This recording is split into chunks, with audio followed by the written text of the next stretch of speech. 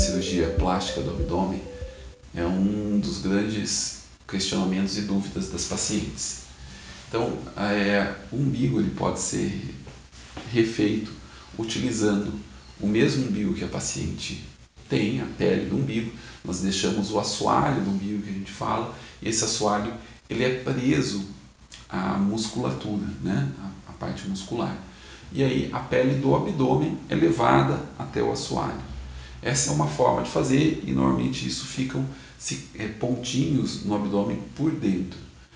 É, algumas vezes esses, essas cicatrizes elas podem é, sofrer algum tipo de necrose ou falta de, de, irrigação sanguínea e aí essas cicatrizes acabam demorando um pouco mais e, e ficando de aspecto não, não desejável.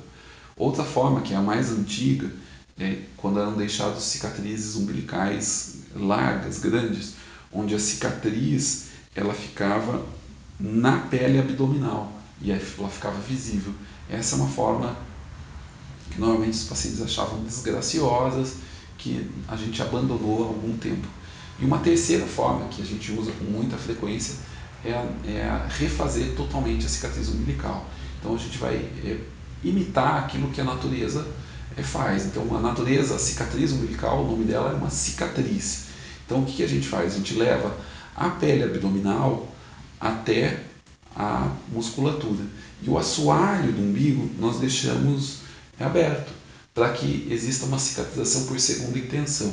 Então, dessa forma, a gente não tem cicatrizes ao redor da, do umbigo e esse umbigo, ele depois que ele cicatriza bem, evolui a cicatriz, ele fica extremamente natural, redondinho e sem cicatrizes visíveis.